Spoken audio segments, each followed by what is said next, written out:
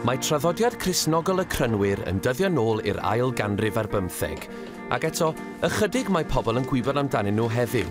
Ond nawr, mae'r crynwyr yma eisiau dweud yn ei geiriau ei hun beth yw bod yn grynwr.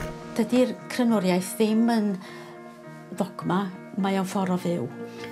Os wyt ti'n gofyn i un crynwr, be mae'r crynwyr yn gredu, fedr o mewn gwirionedd, fedr o ddim atab um, dros y crynwyr yn gyffredinol profiad personol ydy bod yn grynwr? Wel, mae yna sawl egwyddor gan y crynwyr.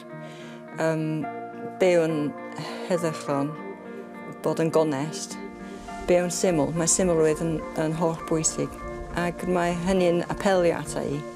Dwi wir yn teimlo fod yn y cwrdd, um, mae pawb yn cael ei dderbyn am pwy maen nhw a bydd bynnag maen nhw'n credu mewn yn ddiw.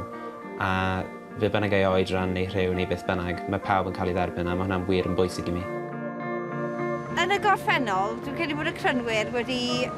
Wel, ni aros yn dawel a Dwi ddim wedi eisiau perswadio pobl eraill am fod yn grynwr, ond dwi'n credu bod yn bwysig, ac os nad ni'n dweud wrth pobl, um, mae'n rhywbeth sy'n bwysig iawn i ni, felly bod yn bwysig cyhoeddi hynny i bobl eraill, dwi'n meddwl.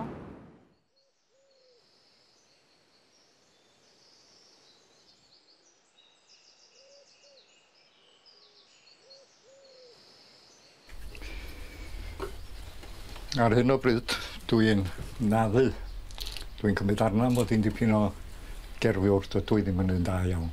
Ond cyfaill mi, mi o'r heiddo o gwynpog goedan fala, a dwi wedi addo gwneud cerfiad o afal, fel bod o'n cofio am y goedan fala gyrwyddi.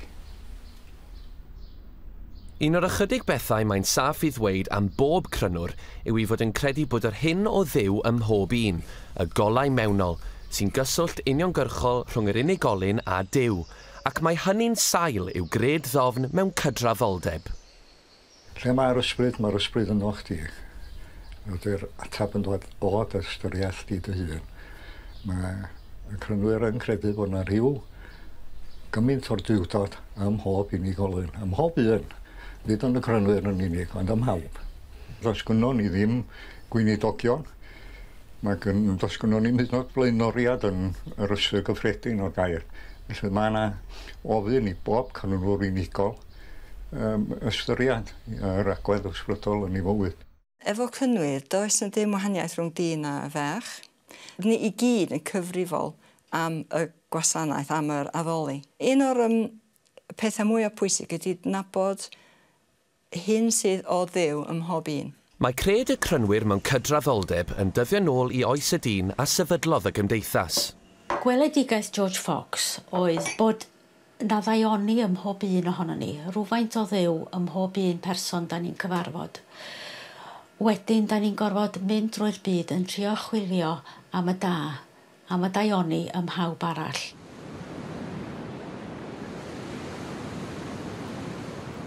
sgwrs yw hyn yn y bôn am y profiadau ges i pan bys i mas am Halesteina yn mis Chwefro tro diwetha. Pan fyddai'n mynd mas i Balesteina, rydyn ni'n cydweithio gyda grwpiau sy'n gweithio dros heddwch um, ar yr ochr Palesteinaidd yn amddiffyn y bobl ac yn caniatau iddyn nhw uh, mynd o gwmpas eu busnes beunyddiol. A wedyn ar yr ochr Israeliaidd um, yn, yn, yn, ymuno â grwpiau sydd yn gwrtdystio hynna oedd y diwrnod cynta a fe welwch chi fe ddaeth y milwyr a ceisio ein rhwystro ni rhag plannu coed ar y diwrnod hwnnw.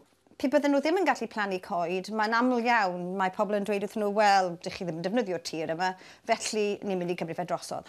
Uh, mae heddwch yn bwysig iawn i'r crynwyr a mae hynny yn deillio o'r cred bod pawb yn, yn gydradd, hynny yw bod, bod hyn o ddiw ym mhob person. Mae'r mae cred yn eich gyrru chi allan i weithio dros heddwch a weithio dros barch i, i bawb.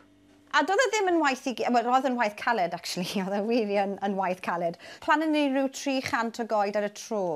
Ond, wrth gwrs, ar y diwedd, ych chi'n cael y croeso um, bendigedig yna. Ddim wedi gadw amser i chi gofyn cwestiynau, wy'n flin am hynny. So, os oes cwestiynau gyda chi, mae'n hwn yn ffain. Herwydd, dydych chi ddim yna fel rhyw fath o arwr i roi i chi'n mewn perygl, dych chi yna i geisio amddiffyn pobl, ond mae rhaid i chi fod yn synhwyrol hefyd, cos does dim pwynt i chi peryglu i eich hunan. Sorry, fi yn mynd ymlaen â chi bach weithiau. Uh, unwaith chi wedi bod yna, mae'n mynd dan eich croen chi yma'n anodd.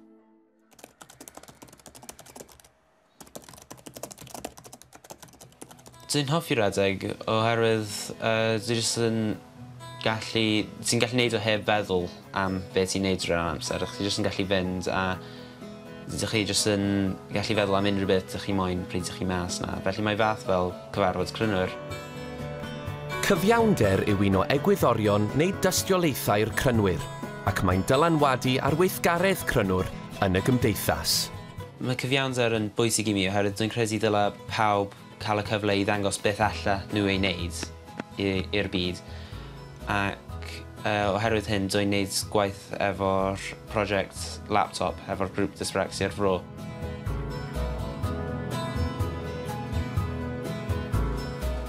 Mae dysbrexia dyslexia yn cyflwyrau niwrolegol sy'n fedru effeithio ar dysgiliau ysgrifennu a weithiau ddarllen hefyd.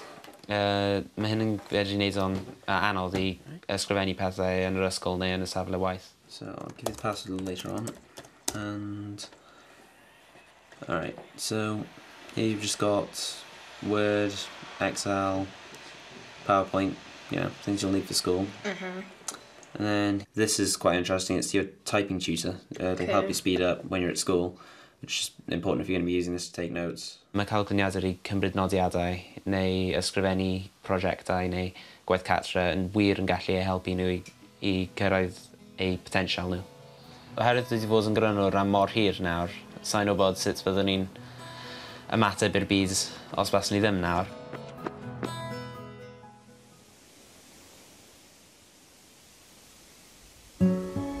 Mae crynwyr yn credu mewn byw yn syml Yng ngeiriau'r cyfeillion, mae dewis ffordd syml o fyw yn ffynhonell cryfder. Mae hyn yn gallu effeithio ar bob agwedd o fywyd. Ni'n byw yn hen di, hen y tŷ gyfrestredig, a felly does gen ni fawr o gyfle i newid o'n yn sylweddol. Ni wedi addasu fo yn ffordd syml sydd yn cydfynd â'n ffordd o fyw fel crynwyr. Ni'n gwneud compost achos mae compost ffordd i ailgylchu pethau a ceisio cadw cilch. Uh, ond gan fod gennym ni ieir eto rwan, ni'n creu comp lle compost newydd eleni. Rwy'n meddwl, mae'n un lwcus yma, achos mae gennym ni pisyn o tir, a dydy o tir ddim yn dda iawn, rwy'n medru tyfu llysiau. A mae hynny yn bwysig i fod i ailgylchu bob dim, i gwneud compost, i, i um, llosgu goed yn y tân sydd yn dod o'n tir ni. Mae'n ma creu cilch o'n bywyd.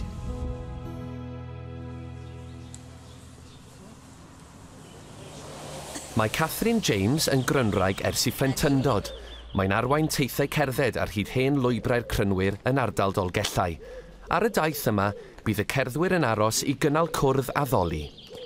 Geffin, da ni'n cychwyn wan.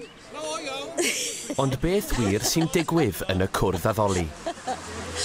da ni fe lawr ffordd hyn i dolgyn ucha.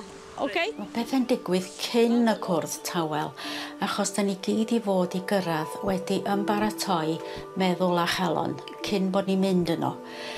Ac on, on i bai bod fi wedi gwneud hynny, tydi'r cwrdd ddim mor fawr i mi. Mae'r ma rhan mwyaf o gyfarfod addoli y crynwyr mewn tawelwch. Yn ei fod, be mae'r ma cyfarfod yn ei wneud ydy disgwyl am arweiniad yr ysbryd dydych chi ddim i fod yn meddwl, mae ydych chi clirio eich meddwl a just derbyn beth sydd yn dod.